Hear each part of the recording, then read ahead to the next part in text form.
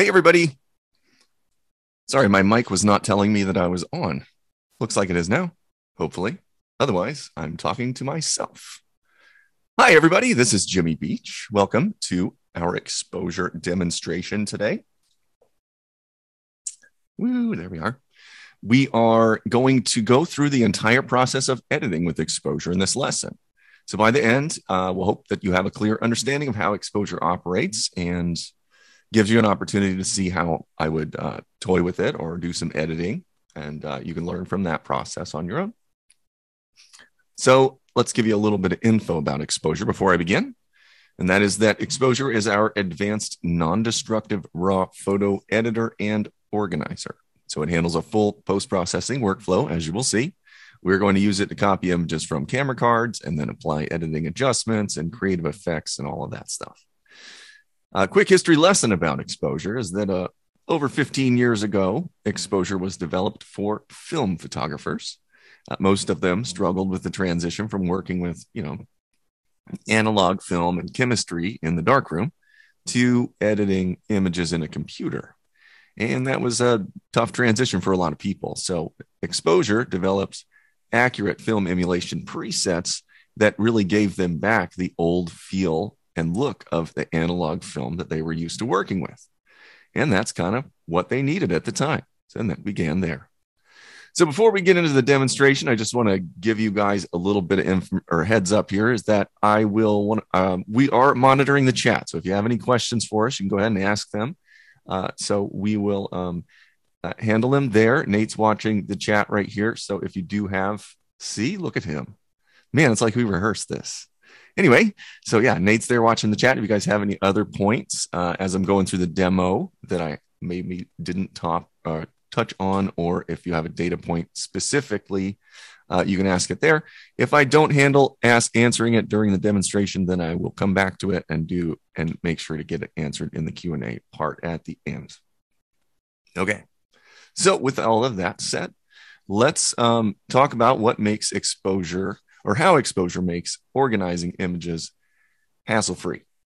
So as we begin, here I'm taking a look inside of exposure. I'm just going to hit escape and then I'm going to put hit tab. So exposure X7 is what I'm using here. In exposure X7, we have different workspaces. And so I'm using the culling workspace. And then I clicked editing just to show you that it's easy to switch. there we go. Back to the culling workspace.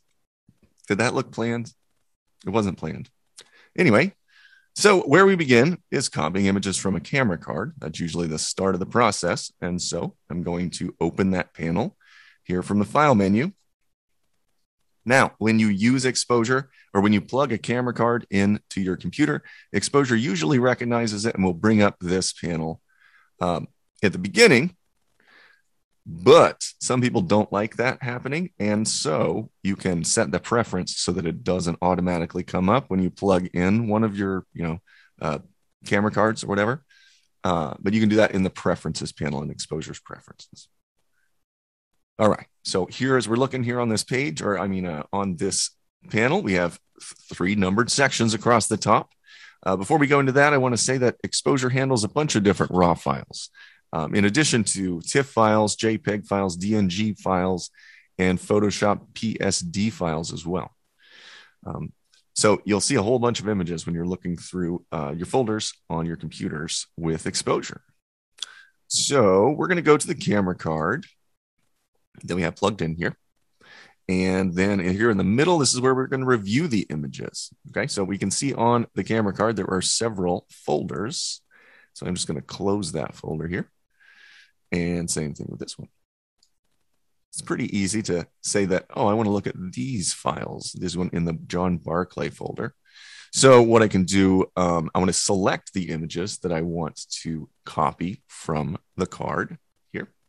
And I can do that quickly because I don't want to include the ones in these other folders. So I'll deselect those. So now, how do I know if I don't have them selected because they're closed? You can see right down here on the bottom of the panel, it says 30 source files and 30 are going to be copied. So it's telling me that I have 30 selected. So you can see right here in the folder view, it says 30 files. So obviously, if these are open, you see they're not selected, and that's why they're dark. Okay, so we're going to copy all those files. Now on the right is where we will set our destination options. This is the third part of this uh, panel. And so there's a bunch of options here. As you can see that I have a bunch of them set up even, but don't let that be intimidating. There are a whole bunch of tools here that are great to use to organize your images when you copy them over to your file or to your computer, excuse me. You can set it to just a regular old destination like the desktop. Right here, I have another folder. It's on the desktop in a photos folder. And then you can see that I'm actually generating, I have it set up to generate a subfolder by the copyright information that's embedded in these files. So I'm going to undo that stuff. We'll just get rid of those things. But I do want to have a subfolder that has the name of the photographer. There we go. John Barclay's images, John Barclay's folder. So that's pretty simple, right? A simple, straightforward use. We want to save it into this folder with this subfolder. We're going to move all those images in there. Okay, so we have some other options here. We're not going to really need those for today's demo, but you can automatically convert raw files to DNG if you need to. Oh, you can also rename those copied files. And you can see here also, I'm using a metadata information to automatically populate this rename. So provided all these uh, all these images here, or maybe your camera has your copyright information set up on it, then whenever you take a picture, it'll automatically have copyright there. So you can put your name there or your studio or whatever. But again, we don't really need to use this for the demo. I can just move these images over and use the same um, file names because I'm, I'm moving them into a folder. But there's a lot of options here. I just wanted to point that out. So I'm going to turn that off. Metadata gives some extra information to your images, such as copyright name, email address, so that they can contact you for um, that for you know photography purposes. We can also add images into collections to organize them um, in exposure when you have them over there. And we can assign keywords metadata keywords. Also we can assign presets. As you can see here on the bottom i have kodak tri-x 400 selected as one of the presets. So that means all these images will automatically be converted to black and white with this preset if I wanted to, I can add another preset in here just because I want to add another preset uh, for the demonstration. And then it says here on the bottom with multiple presets, each one will be as a virtual copy. So that means there'll be two copies of each one of these images in the grid view. One will be black and white, and the other one will be, well, kind of dingy gray, probably anyway, I wanted to show that that is an, also a possibility. We're not going to do that for today's demo, but I'm going to turn that off. Anyway, so now we'll click OK, and it's going to copy these images from the camera card over to the computer really lightning fast. There they are. Now, usually during that part where they're copying over from the card, I like to say that you could go to the file or the folder of images and immediately start working on them in exposure. Now, that's whether you're doing organizing or whether you're doing editing adjustments to those images. Exposure doesn't have a catalog. And so, because it doesn't have a catalog, that gives you a lot of flexibility to immediately begin working, even when they're being copied to your computer. So, so there's no modules also. So all the commands that you use or have in exposure are available to you at all times. So I mentioned that. I want to also mention that cat, uh, exposure uses a catalog free workflow. Okay. So what that means is that the edits that you make are stored in small sidecar files within the image folder rather than in a catalog. Okay. So you don't have to mess with the catalog at all. So I want to point out how that works. Here in the folders panel on the left, I should do sound effects one day, the entire webinar, all sound effects. Anyway, uh, we're looking at the John Barclay folder. Okay. Now let's take a look at, actually, let's look at another folder because I have edited there. I've edited some of these. So that Andrea Olivieri's folder. And then let me bring a Finder window over and Shazam. We can see on the desktop here on the left in the photos folder, that's where I have all my photos. Andrea Olivieri, And here are the images, right? And the sidecar files live right in this folder. So why is that important? Well, it makes backing these images up really easy because you're not ever going to be losing any of the edits that you made because they're in the sidecar file. So all you need to do to back up these images is just drag a copy, let's say over to a backup hard drive, and that's all you have to do. And, and and move it right into there when you didn't mean to. Let me undo that. See how easy it is. Ah, I'm so smooth sometimes. Anyway, it is really easy to move folders. So you can do it that way. And that's one of the great things about having a catalog free workflow is I'm still, oh, it kicked me out of the folder, but let's go back. See, everything's back to normal. We didn't mess anything up, thankfully. Okay, so now we've talked about how we don't have a catalog. So that makes a little bit of things, or uh, it makes a lot of things a lot easier when we're um, as we go through the rest of this, we don't have to worry about where this information is being stored. They're all being stored right there with your images, everything we do. Okay, so let's go back to our John Barclay folder. Fresh images that we just brought in. Now let's, uh, I'm in the culling uh, workspace. I think I told you, told you guys that before, culling workspace. So that's going to have the metadata panel open so that I have more information about the shots that I look at and the basic panel if I want to make a few tweaks. And then you can set these up however you want to in exposure, these workspaces, but this is just kind of how the standard one works. And I have a really raspy voice here because in North Carolina, along with being rainy and kind of drizzly today, it's also pollen season. So all of us sneeze and have itchy eyes. So I apologize for that. So I have to like drink water all the time so that you guys can hear my voice. Ah, reality. Anyway, all right, let's talk about how we can organize our images now that we have them copied to our computer and we understand where all this stuff's going to be saved. We can look at the folder panel right here and we can go through different folders of images to look at different photographers. That's how I have this organized. So that's really quick and easy to do.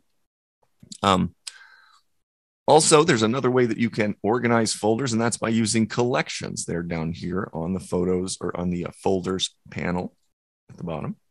So you can set up collections, which are a grouping of images from different places. So you can have images that are on, you know, a hard drive that you have an external hard drive, or even on your phone, or um, on camera cards, whatever, you can have those things all put into catalog or collections here so that you can look through them quickly and you don't have to worry about having duplicate files or images.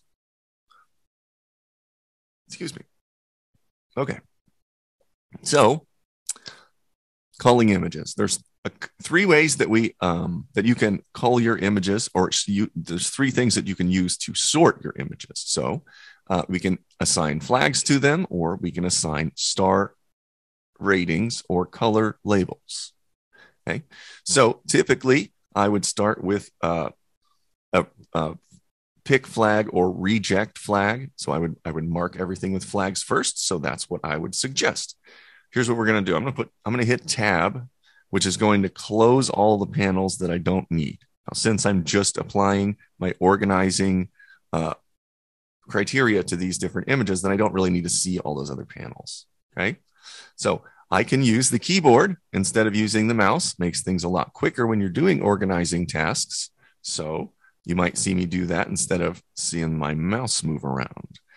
Okay, so let's take a look at flags. Flags are on the left side of each image. You can see them right here. Uh, if you right click, then you can see which one you want to set. Uh, pick flags white, reject flag is dark, and then this is no flag or unset the flag. So if we pick flag, we can see that it gives it a white border and that little flag icon is uh, white for color in. Uh, let's reject one. Let me reject this one. Boom. If I hit it again, reject. I'll see how it's dark. So that's with the mouse. Let's use the keyboard. We can go with the arrow keys, I'm just using those, and plus and minus. So uh, plus is a pl- is a uh, pick flag and minus is reject flag. Okay. So I'm showing you uh, how quick it can be when you're running through images to, you know, tell you which ones you want to keep, which ones like work with whatever you want. Now I want you to imagine instead of having 30 files, you have like a thousand files. You know, when you went shooting for a day, you're going to have a lot of duplicate images and things like that. So sometimes you might want to do things like grab a whole series of images and, and then say that you want those to be picked. So you can add a pick flag just like that, you know, things like that. Or if you forgot the lens cap is on, maybe I'm the only one that does that, then you can recheck that one. But anyway, okay, so that's that's our pick flag. Now, why do we want to put our pick flag on there and what does it do for us? Well, we had 30 images in the beginning. So if I now use a filter to filter out just the pick flags, now I only have 11 of those images. So this is a great way for you to just say, these are the ones I want to edit instead of editing every single image that you ever taken. Okay. So now we can do the same thing with color labels. Okay. So I'm going to hit tab again, close all those panels. Now check this one out. I'm going to bring this down from the top, this top uh, menu and make these images a little bigger. There we go. So now color labels that you can use. Color labels are um, actually, let's do stars first because that lines up with the keyboard shortcuts. Stars can be applied to uh, give a rating to an image. So one through five stars. So if you push two on the keyboard, it gives it a two. Three is a three. Come on, you guys got that right. Five star image. Then we can use the same thing with our keyboard and give it another rating. Very, very quickly. This is another way that we can go through and sort our images. Okay and I'm still using the keyboard to go through these. Okay. Now, another thing that we can do is apply a, uh, let's hit, let me hit some, let me go down to see some more images. Here we go. Click on this one. Yeah. Now, if I hold down the shift key, I can actually apply a rating, let's say, and then it will advance to the next image. So if I hold shift and then give this a four star rating, see how it jumped to the next one? So when I'm so this is a great way to actually be like really lightning fast when you're processing your images because it'll jump through these quickly. All right. Anyway, now the last thing was color labels, and color labels you can use um, to identify uh, images for different uses, or if you want to apply a black and white preset to some of them just to see what they look like in monochrome. I do that a lot of the time. Then I'll mark it with a color like yellow or whatever. So the color labels are the same way as what we were doing with the numbers with the um, star, yeah, star ratings. So six through nine. So six is red, and then seven is yellow, eight is green, and nine is blue. And there is a purple color, but we don't have a 10 button. So if you go down to the bottom of the, let's make sure that everybody can see that there. Go down to the bottom, then purple is there on the bottom. Yeah, we ran out of keys for that one. You can set these differently. All these keyboard commands that I've talked to you about today that I've mentioned, don't feel like you need to memorize those. This is a great time for me to point this out, actually.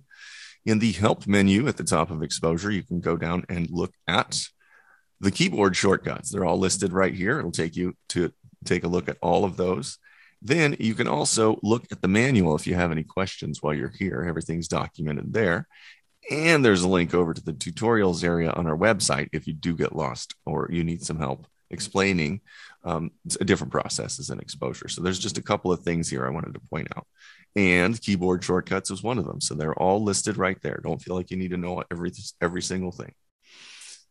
All right. So now we've applied all three of those criteria, and then we can use the, let's hit tab again, bring back all our menus. And then we can use the filters here at the bottom to sort and filter these down to the exact images that we want to use, right? So, like I said, well, imagine that you had a thousand images, right? Guess what? I just happen to have a thousand images.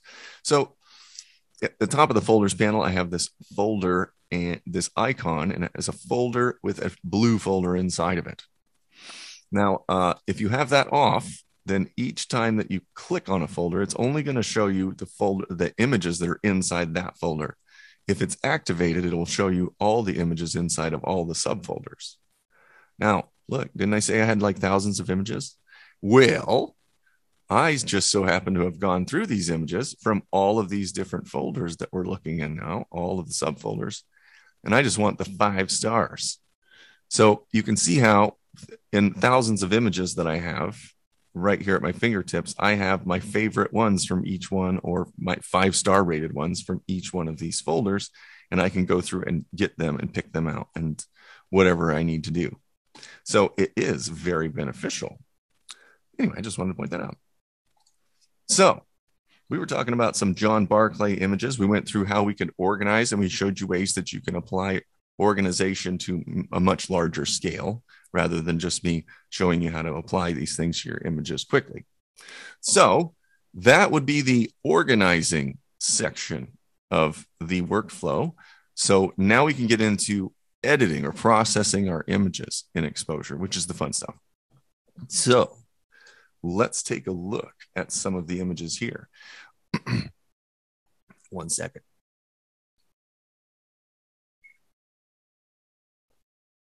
Okay.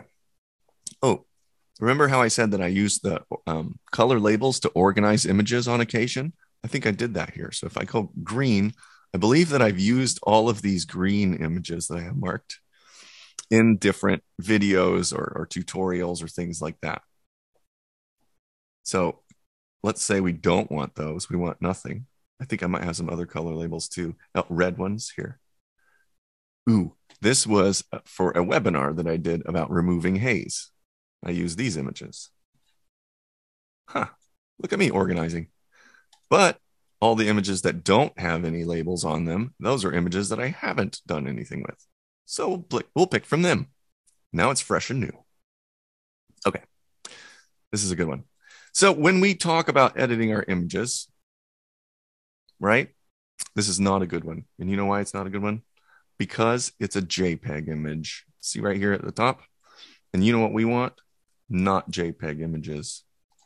So let's grab a not JPEG image, such as one with some nice dense color on it. Here's one from, from Andrea Olivieri. I'm going to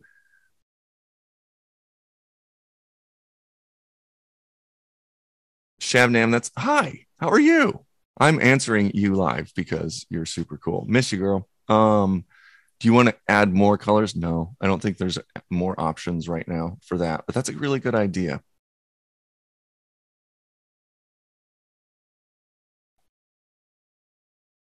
Okay, back to what I was talking about. I'm going to write that down actually before I forget. All right. So we are talking about raw processing, and that's why I wanted to find a raw file. So here we are, raw file. Let me, whoop, I moved over here. Okay, let me close this panel so that we can talk about what we're going to do to this photo. Okay, so when we're processing our images, I want to think about processing in two major, let's say, veins. One of my studio professors in college would say bifurcating, but he was um, Hungarian and he had a really like his accent was very thick. So it was a anyway, it was memorable bifurcating. So I have my anyway, I got I'm random. Uh, what I was talking about was when you think about editing, you think about it in two ways. You think about correcting issues that's with the photo, and then think about something to do totally different that's creative. So there's two things that you're doing. You're applying something or fixing issues, and the next thing is then you edit.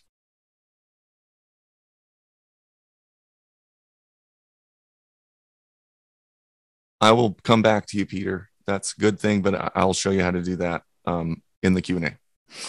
Okay, creative editing. So here we are, and we're talking about how we're going to fix issues in this image first, okay?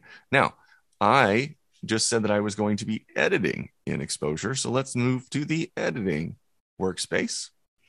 You'll see that it's a little bit different. And that's just some different panels are on. You can turn them all on and off if you want to. You can customize all these however you like. So I'm going to close this one again.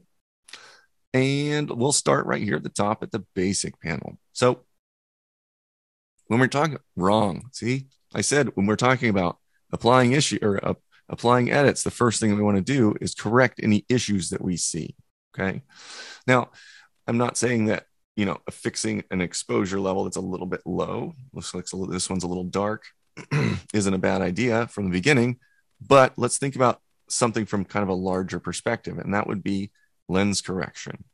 So something like lens correction is something you really want to do at the beginning of the uh, at the beginning of the processing workflow, and exposure does have profiles for a whole lot of cameras and a whole lot of lenses. But if yours isn't supported, then you can also do this by hand instead of using the profile right here under manual. And then you can make adjustments there. So that is up to you if you're uh, if you have like an old lens or something crazy, or um, or if it's kind of an obscure model that no one has. You know, sometimes people use wacky lenses that we don't, you know, we've never heard of people using before, which is really cool. But it's hard for us to make profiles for them because we never seen them. Anyway, so you can put an automatic lens profile on for distortion or vignette correction, and that would be lens vignetting and chromatic aberration correction as well. Now, I don't really see any of that stuff poking up on this image at first blush. Uh, you would notice it on the lines here in the air, you know, right around any of that stuff. You'd see that it would be some bright pixels if you had chromatic aberration. You know, I don't see any. Good job, Andrea. All right, so we don't need to do anything there. We have automatic um, set. So I'm just going to leave that one alone. But that would kind of be the first stop. Another great place to stop would be sharpening. So a lot of the time, uh, when you're looking at images, you want to make sure that they're tack sharp when you get them into the computer so that you're not well, making them less sharp by putting some edits on them specifically.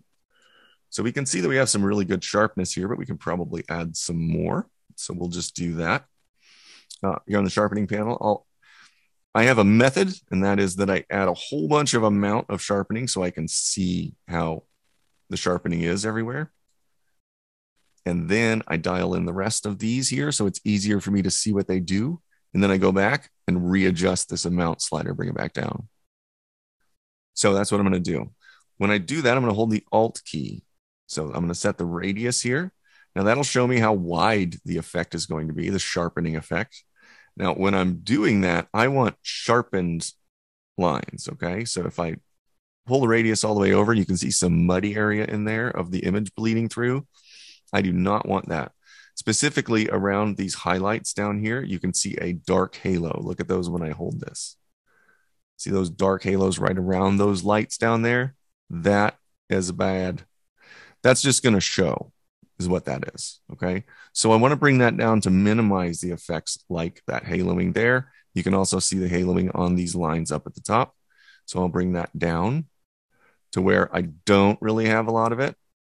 Now it looks like it's almost invisible and I, I wonder if you can actually see it in the video. On my screen, I have my brightness all the way up and I can just barely make out the lines. And that's kind of where I want to be. So that's a good amount for this image.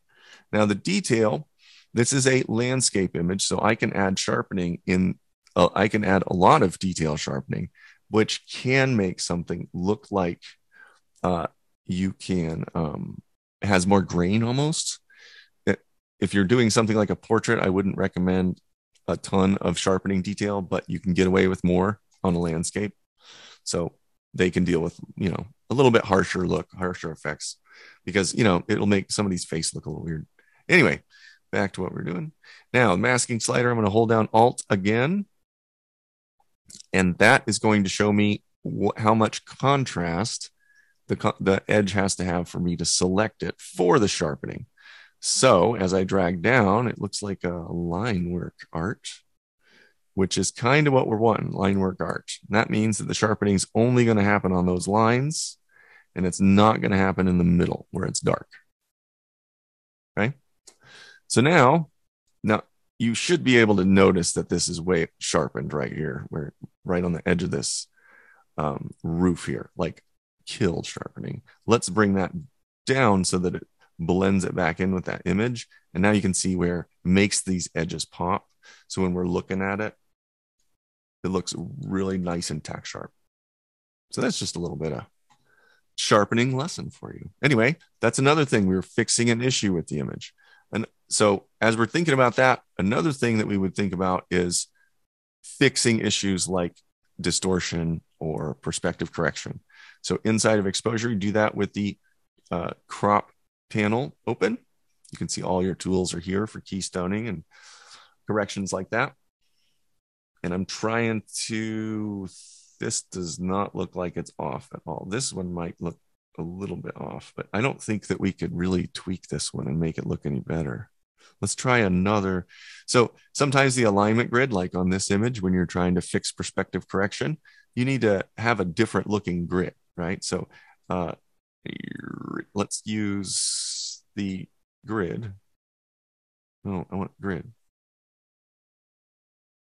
Alignment grid. There. Okay.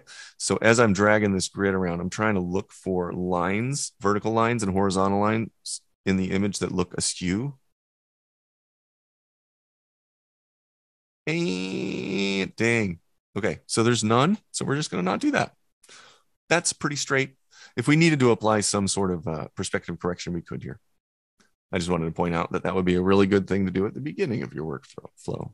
So you don't edit and put vignettes on it and all that stuff and then crop it out later.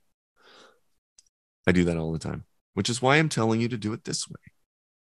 Okay, let's talk about creative editing now. So we've we've talked about fixing some of the issues that we typically have in images or with images. So now let's talk about what we would do typically to edit an image. So for that, I'm going to go over to the presets panel on the left, and the presets are right here. They are organized into folders by type. So you can look along the top here and look at all of them, or just color looks. And then you can open up the different folders of options and scroll through them. Now you'll notice that as I do that, you can see the different effects apply to the image, the big preview image. That's what this is called in the center of the screen.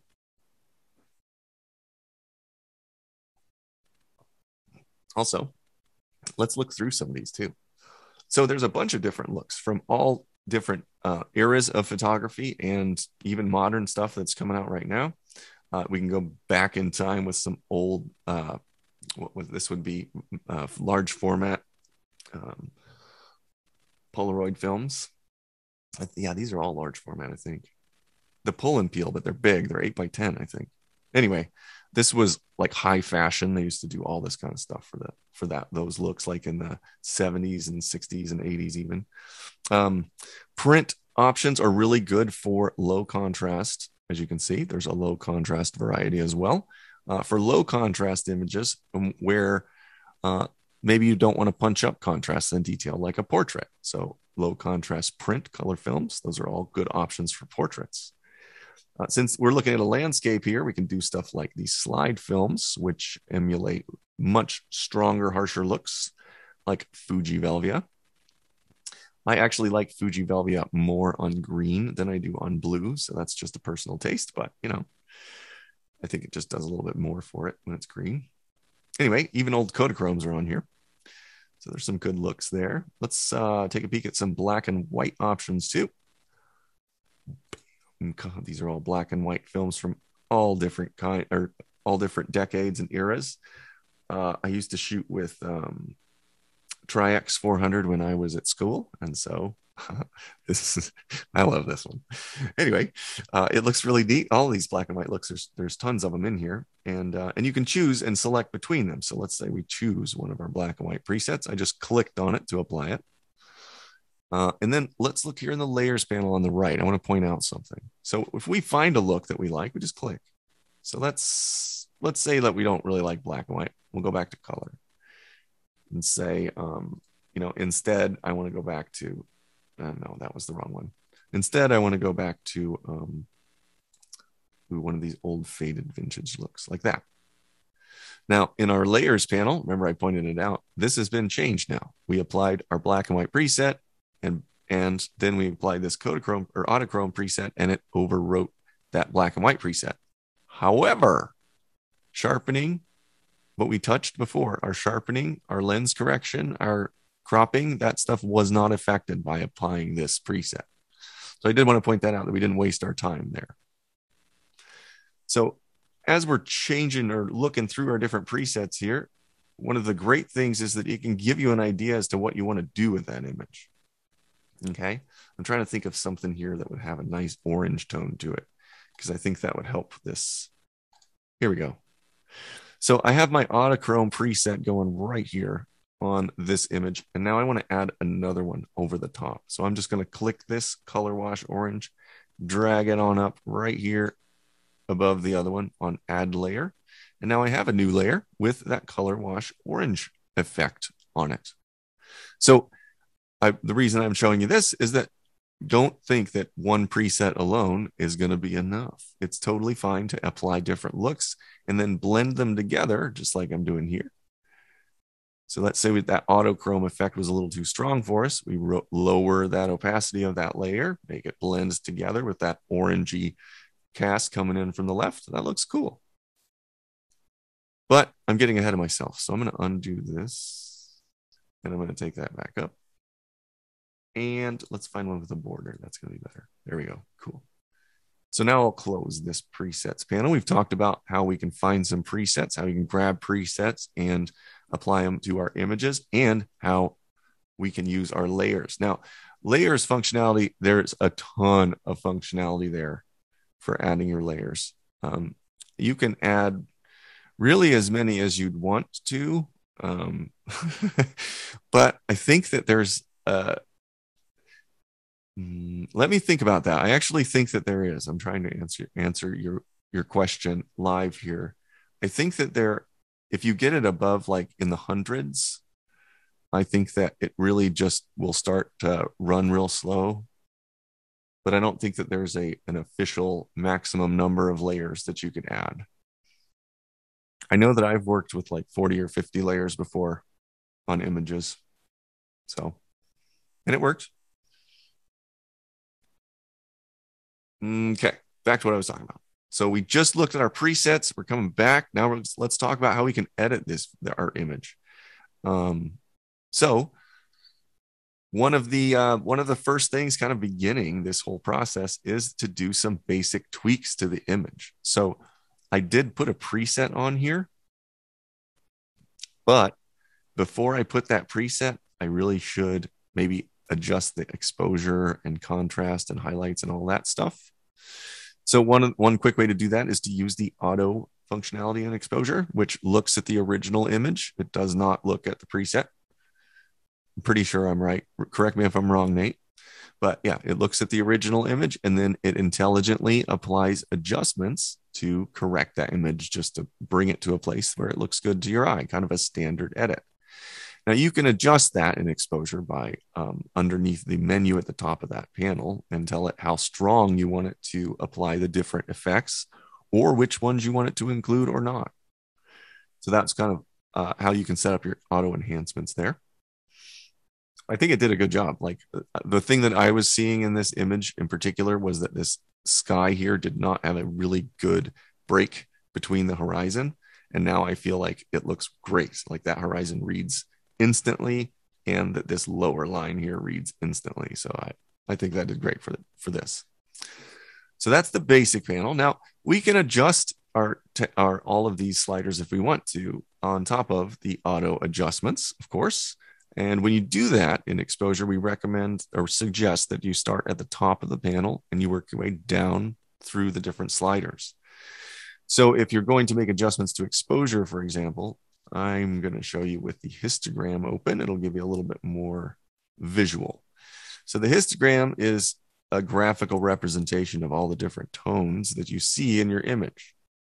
So as we make adjustments, look at what happens to it you can see how it grows and shrinks. Okay. So I'm going to move that back to where it was. That was at 0.3, about a third of a stop up. Okay. And now if I make an adjustment to, let's say, the whites, uh, huh. see it's at 11.5.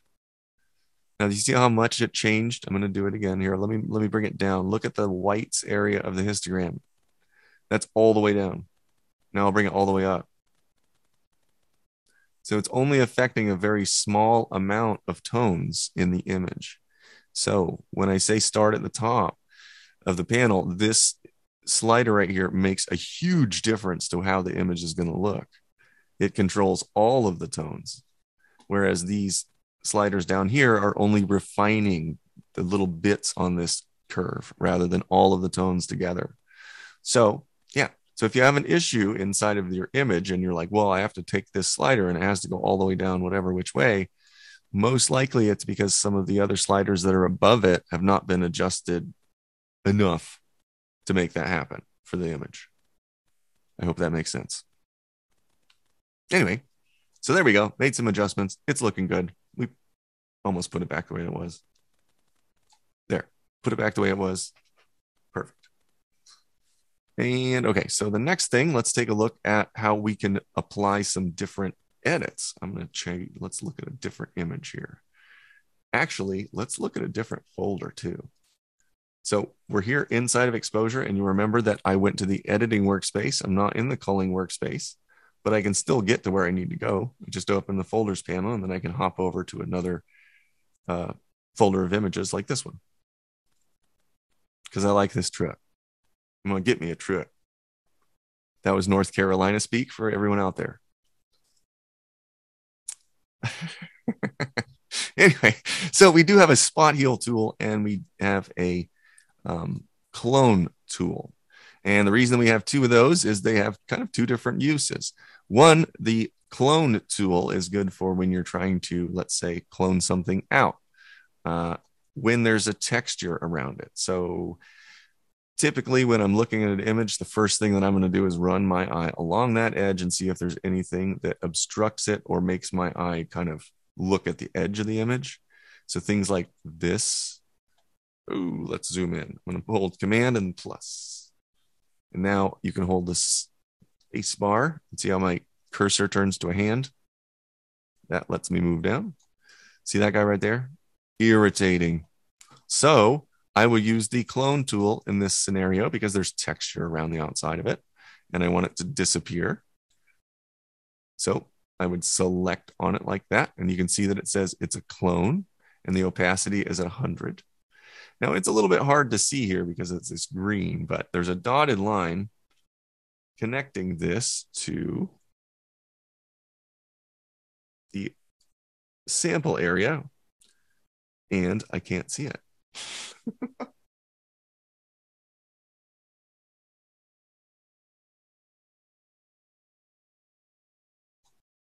Where'd it go?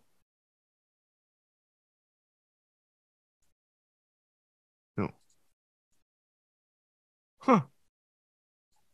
Well, I was going to show you that you can grab the other part and move it, but I can't find it. Where'd it go? That's weird. I'm going to delete that. Oh, let's do that again. I hate it when things don't go right when I'm demoing something. Space bar, let's draw it up there. Okay, it's going to work. Hmm. See, that's blurry. So it's up here.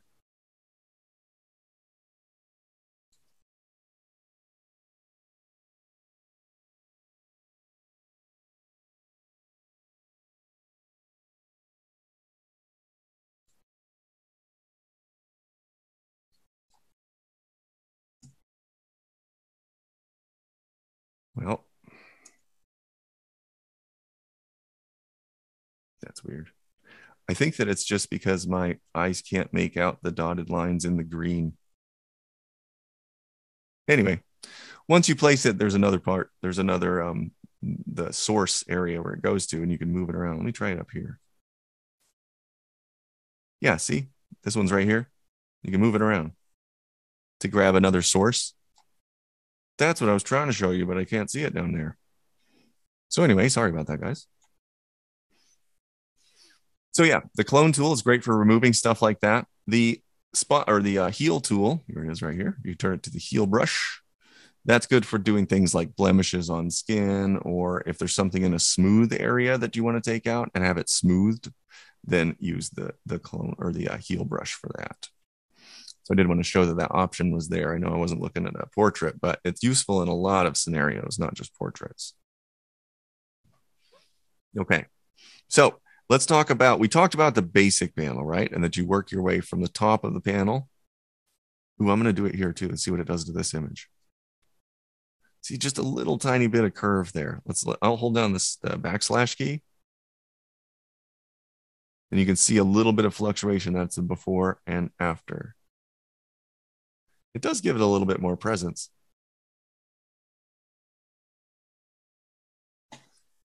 Okay, cool. So yeah, so we start at the top of the panel, work our way down. We talked about the basic panel already, but let's talk about the color panel. Color panel is a great way to, I know you're going to expect it, but adjust color.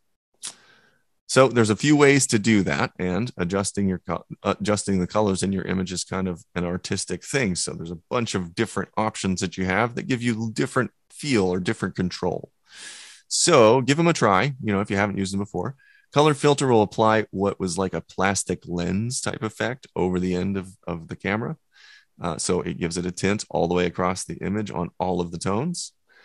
And you can use things like this to excuse me, brighten things up, or excuse me, warm things up or cool things down, cool things down, warm things up. Or you can uh, grab a hold of just a little quick slider here to add some cool or warm effect. Pretty easy. Uh, down below, you can also uh, change these colors to whatever you want or make it super dense so it's more or stronger than it is before.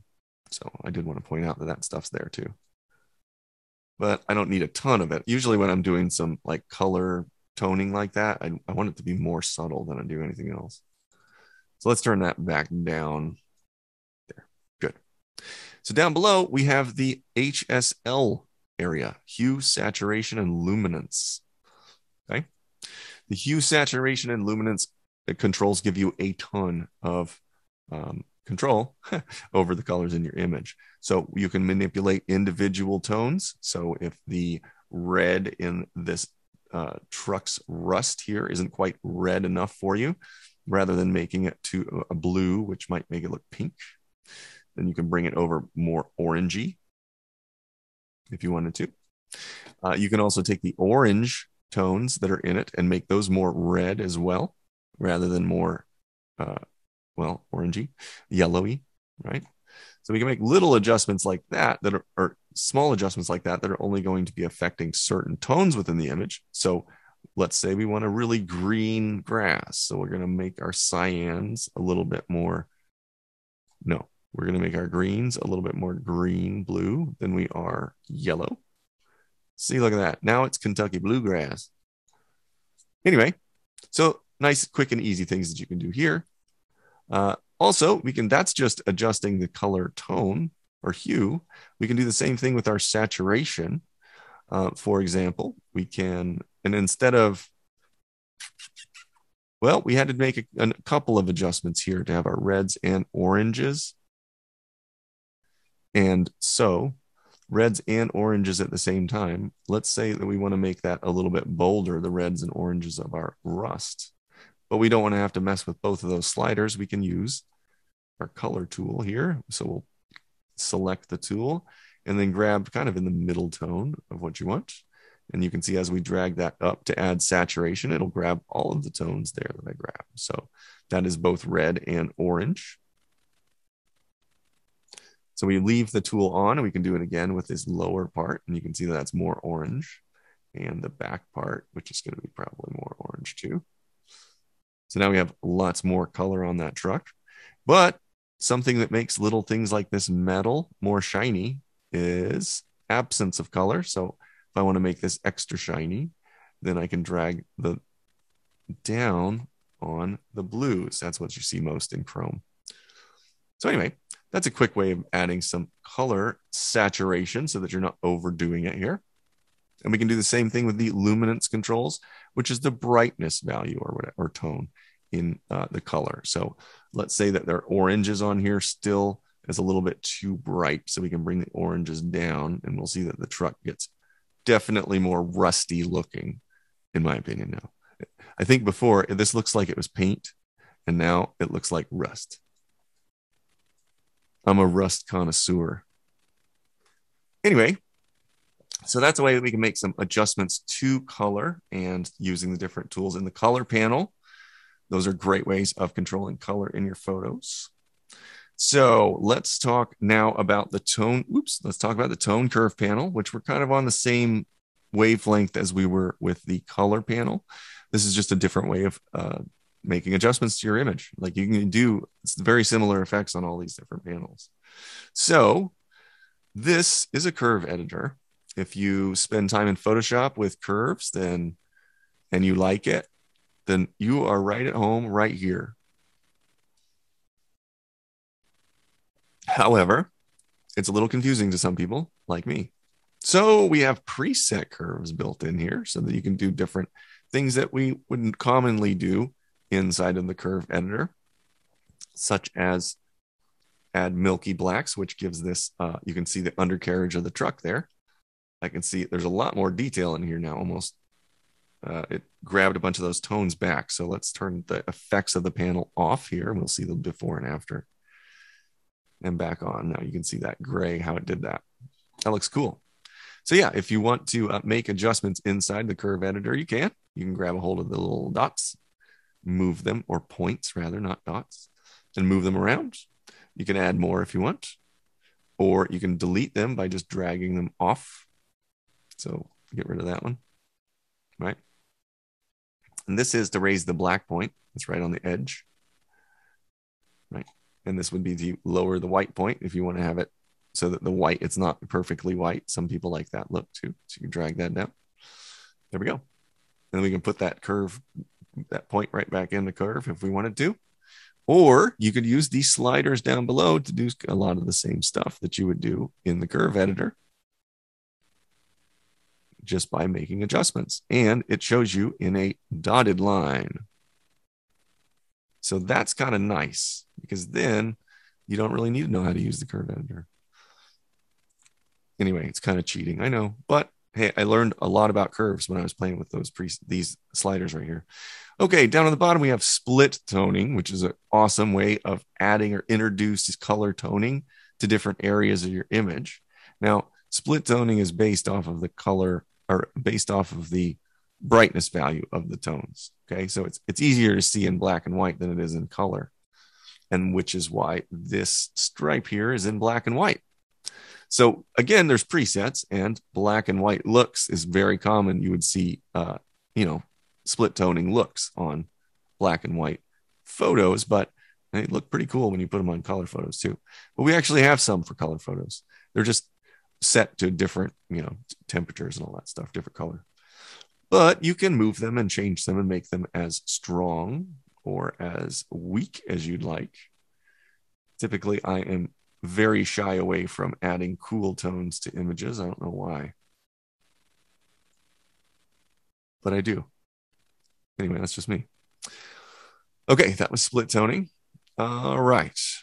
Now we're still talking about we're making creative effects now. So now that we've processed our image, we started with a shot, we've gave, gave it some sharpening, you know, all that kind of stuff.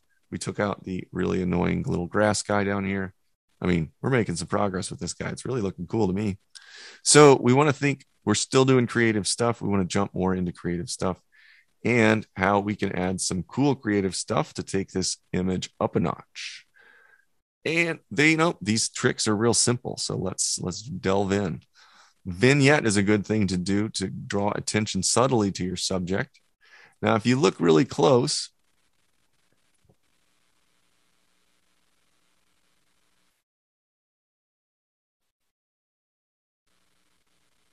that was me reading. Uh, sorry. If you look really close, we can see that we have a vignette effect that's happening here already. Now that's kind of that's just because that's how the camera works. Okay. So I want to strengthen that because I like that look. You can tell on this image, it's really easy to see. So since I like that look, I can either choose from a preset because presets make everything easy. Well, they at least get me in the right direction. So I'll just choose from a preset here. And then I'll start. Remember what I said? We're going to start our way down the list. Except I'm going to break that rule this time because I want the vignette center to be the vehicle rather than the middle of the image. So that's the first thing I'm going to do is move that down. And then I'm going to leave the amount really strong for now, even though I'm not going to use that. Okay. So I'm going to move the softness off and to turn that all the way off, and we can see how it's kind of distorted, which I like. But I want it to make sure that I have most of the truck in that and not necessarily the edge. So I'm going to, you know, do a couple of little adjustments to make sure that my vignette's working around my truck. And I can even randomize it a little bit. There we go. That's better. Did you see that? If you hit random seed, it randomizes the lumps that create this distortion. Then that looks good. So, so the whole truck's in. Then I'll add my softness back in and make it kind of fade away. Now we can mm, actually, I'm going to bring it back there. Now we have it fade away, and, and I can bring my amount back down until it looks like it's more something that I like. I want it to look like it's, you know, it was done there in the camera. That looks good. So let's turn the, we can always turn the effects of each of the adjustments that we make on and off, or we can ch- uh, choose the entire, we can choose the entire panel. In this case, the vignette. So there it is. Awesome. Making good progress. We got a couple more things to do, and then we're going to be wrapping this guy up. Okay. So we talked about we didn't talk about bokeh. Okay, so bokeh is the is a word that talks about the quality of the out of focus areas of an image. Okay, and it's Japanese in origin, and that's why it says bokeh. That's what everybody's told me because I've been corrected about it a bunch of times. But hey, I don't care. I mean, I'm not, I don't know, whatever. Let's keep moving. So, bokeh is manipulator controlled by focus regions. As you can see, there's one here in the middle of the screen. That's by default. It comes up, but you can't see anything else going on. So let's give it an amount of blur. There we can see now where the blur is and where it's not blurry. So the not blurry part is controllable and we can move that to shape it however we would want to. Old truck image here. And then we can move, this is the feathering edge. That's the edge that's dotted. That's where the effect is full on. So if I move that edge way out, then it's going to fade from no blur to a little bit of blur, right? So that's what I'm going to do. Now, all I did was strengthen the already what's going on um, bokeh in this image, but you can see here on this bottom front corner where I was looking at that grass before and the corner here where I was looking at grass before. Those both have some nice subtle blurring effects happening to them too. To now that will draw your your eye into the shot a little bit better. So I'm going to close that. When I close the bokeh panel, then you'll notice that all those tools go away and the bokeh stays. All right. So let's chat on grain really fast. Uh, grain and exposures amazing. You have a lot of control over the way that grain appears on your image. It is a beautiful way to add an analog look to a photo. Um, and when you're working on rusty old trucks, pictures of rusty old trucks, then it's a really, really great thing that could add some benefit to this photo to help it to look more vintage. So I zoomed in really close. You'll notice that before I add grain. That's because I actually want to see what's going on. And you also may notice that there is a little bit of digital noise back here in this background, specifically because it's, well, probably because it's blue. But I don't want to see that. I'd rather see grain than I would digital noise.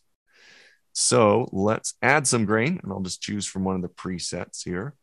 Now, you'll notice that I chose a 25 preset, 25%. Okay. So at 25%, this looks strong to me on the background. That's why I chose that one. Now, I'm going to turn it up so that everybody can see. So it's really easy to see what the effect's doing. But when you do apply grain effects, sometimes make them very, very subtle and you will thank me later. That's my recommendation. But I did want to show you that inside of exposure, you can move uh, or you can adjust where our grain is appearing. And so right now, uh, I don't here it is in the midtones back here, and that's way too much for me. So if I drag the midtones slider down, then it's going to make the grain in that area a lot less abrupt. So now you can see how it's more grainy. It looks more like leather, right? Grain looks like that when you're zoomed in on it. It's clumpy. So uh, if I don't, I don't really see any grain on the highlights here at all, but I do see a little bit in the shadows. So I can add some more in the highlights until uh, that's way too much. I can add some more in the highlights until I can see it and it registers. That's kind of what I go by. So for this image, that's what I would do. I think that looks good. Now, again, I put this really strong so that you could see it. So then I would back it down, maybe even into this area for the final. There we go. Looks good. Okay. So grain, lots and lots of options with grain too. We can add more roughness to the type of grain. You can even give more color variation, or you can add push processing, which will do both give more roughness to the grain and add more contrast to the image at the same time. And or you can change the size of the grain for different film stocks, like 50 millimeter or yeah, or 120 film or uh, 4x5 view film you can choose from those. And the larger the film, the smaller the grain will be. If you're looking to remake analog looks, this is a really uh, awesome feature. Okay, cool. So we have touched on a heck of a lot of stuff. Let's talk about layers really quick because I haven't talked about layers. And then we'll wrap up our presentation. Okay. So we've done all of this editing so that our image looks good. We're going to hold down the backslash key again. This is our before image and our after image. And wow, it totally looks like an old rusty truck right now. And it even looks kind of like a postcard right now, which I like. Cool. So, what could we do with our layers to, I guess, add to this, right? We have all of the edits that we made, and we can see them here with this little uh, arrows here on each of these panels. That means that there's edits made on those panels on the layer. So let's rename this one our edits. So our edits layer.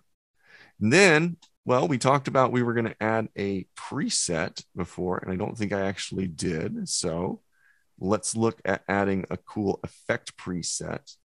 And I do think that the vintage is going to go well with this uh, or a vintage look will go really well. Oh, maybe we should do black and white. Quick decision. Let's do black and white. But I want to do like a vintage one, like with some toning.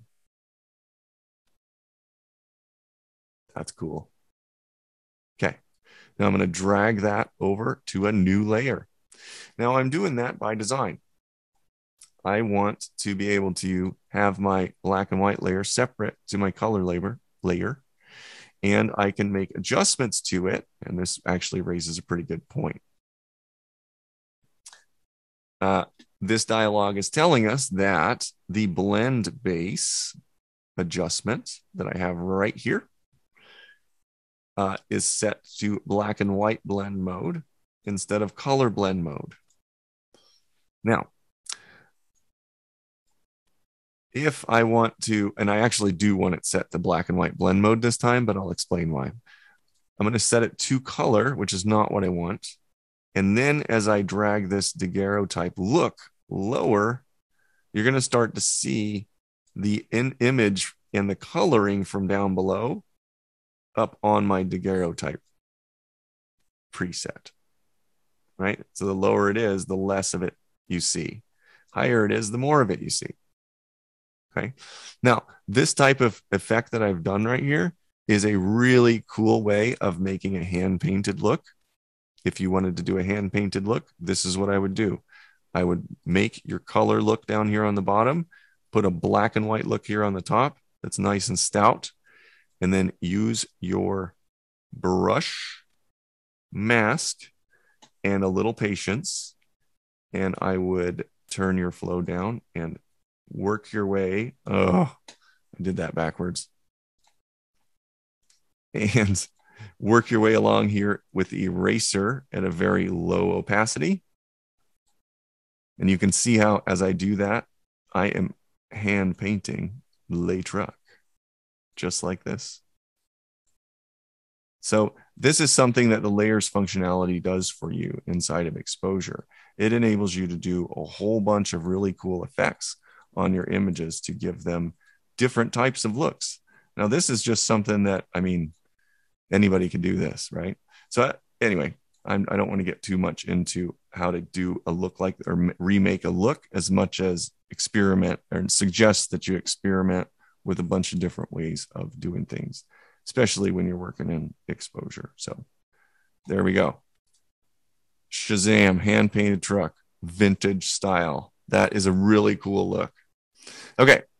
So now let's let's wrap it up. We've talked about layers, talked about layer masks. There's a whole bunch of functionality inside of layers and layer masks and exposure. I didn't really touch on it.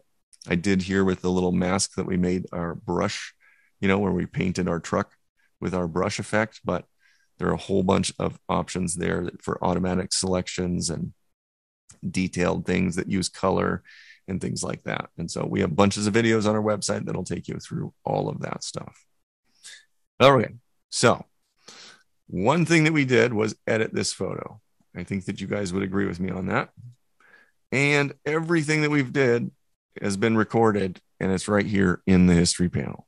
So in the history panel, we can go back through the edits that we've made and step all the way back. And I do mean all the way back. Now, you can delete the history or clear it on your image, but then you can't go back if you ever wanted to and rechange or change something that you did that you don't te- technically or you don't like or whatever later. So that's important that history stays with your image.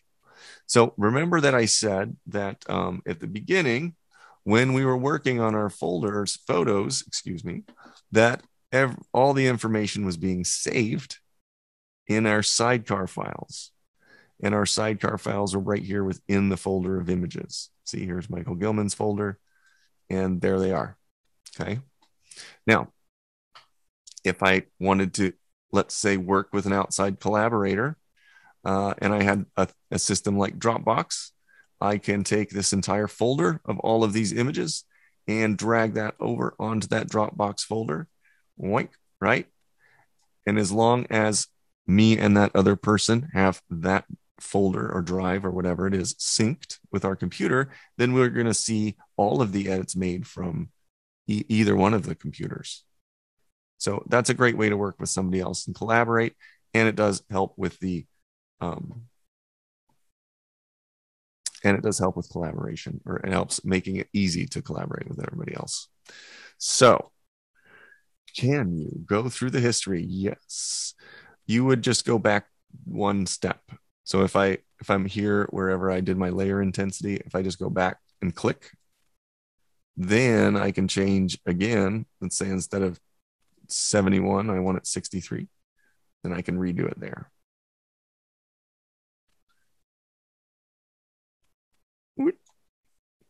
There, I like a little better. Like, no, nah, it's a little bit too much. you can see how it's saving it all. Anyway, okay.